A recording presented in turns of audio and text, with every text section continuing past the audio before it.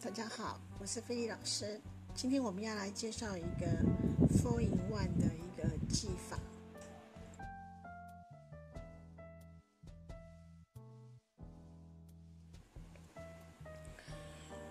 我们要利用一乘六的不锈钢环来做编织。那我们要先闭合的这个一乘六的不锈钢环，先闭合起来。那基本上这个不锈钢环，你买回来的时候，看起来好像是闭合，但是它并没有完全的闭合，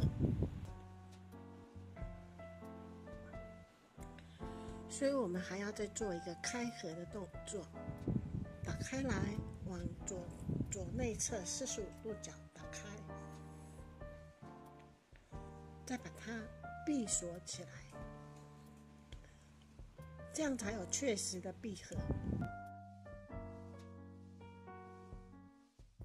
那我们先呃做这个动作，做一些起来备用。然后接下来打开这个一乘六的环，套入四个闭合的不锈钢环，四个。再把这个不锈钢环闭锁起来。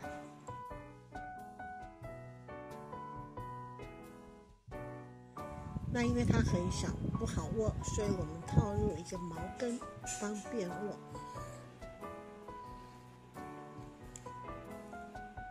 然后我们要把这个呃四个闭合的这个不锈钢环分成上下两侧各两个，而且。要让这个右侧的环在左侧的环的上面，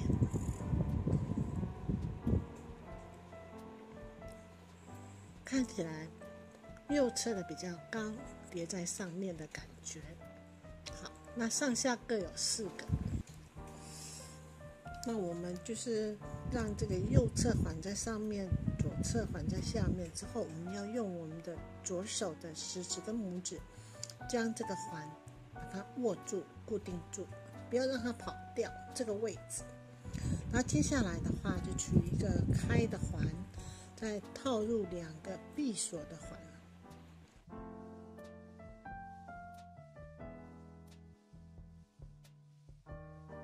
之后由上往下入下面的这个环。再由下往上入上面的那个环，把它闭锁起来。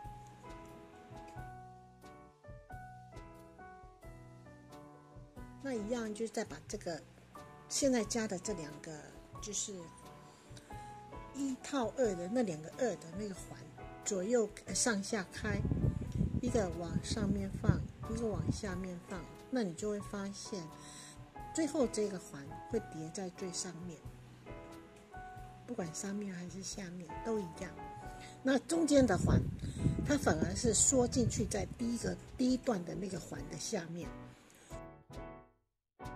接下来每一个步骤都一样，取一个开的环，套入两个闭锁的环，再由上往下入。下面的这个环，由下往上入上面的那个环，把这个环闭锁起来，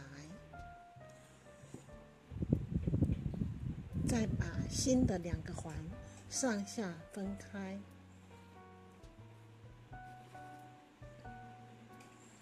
那这样子你就可以完成一个就是织带。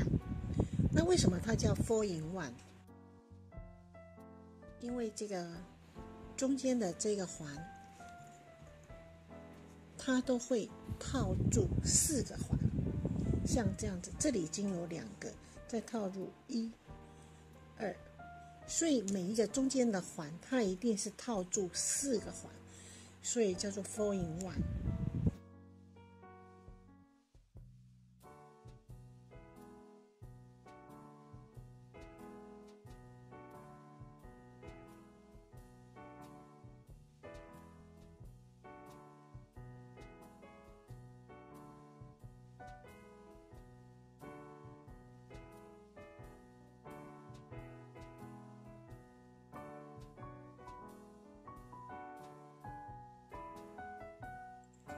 在编织的过程中，如果有放下来之后再拿起来继续编织的时候，一定要注意一件事情，就是那个方向。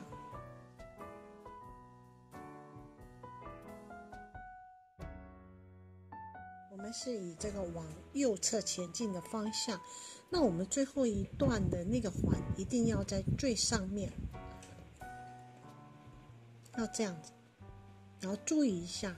就是这个外侧两侧的这个环，这个上下两侧的环，最后一段的是不是在最上面啊？因为它有可能就是你拿起来的时候是在另外一个方向，这样子看起来的话是左侧比较高哈，所以这个方向是背面，那我们就把它翻过来，好，那就是右侧比较高。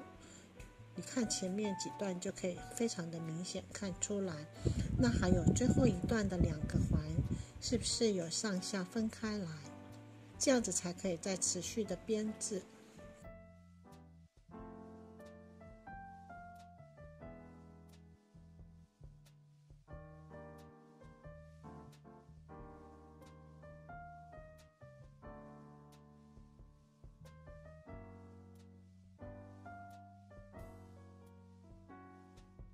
那这个织带，如果你编到呃最后结束的时候，为了让它不会这样子呃就是翻来翻去的哈，所以我们会我会取一个这个环，不加任何的开的环，不加任何的闭锁的环，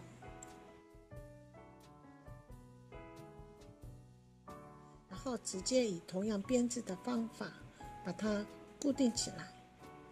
这样子的话，这个织带就会被你固定住，因为这个环，然后因为也没有加新的环，所以它不会再继续做延伸，那这样子就会固定住。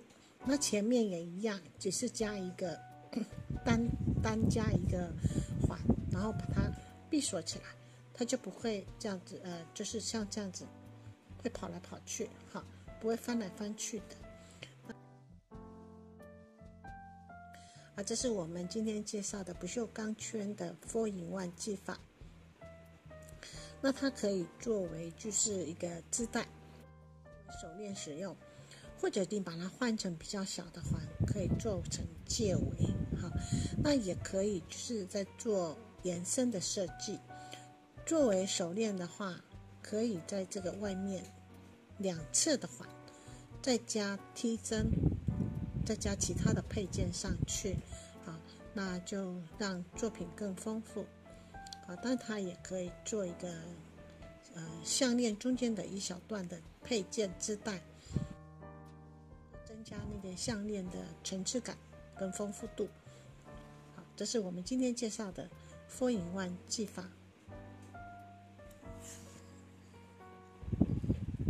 我是菲利老师，下回见。